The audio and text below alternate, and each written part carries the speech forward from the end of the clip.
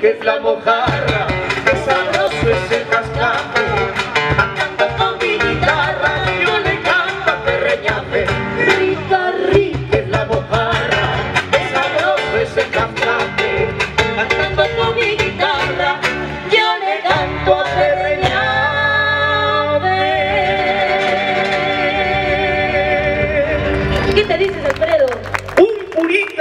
A una cholita matemáticas enseñaba. A los nueve meses, la chola multiplicaba. Guapa y sano.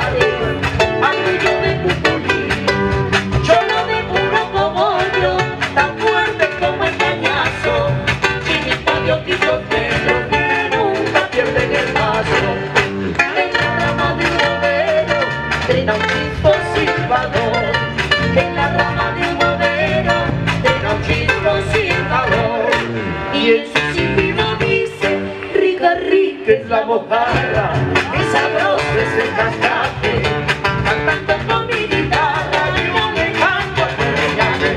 Rica, rica es la mojarra, qué sabroso es el cascate,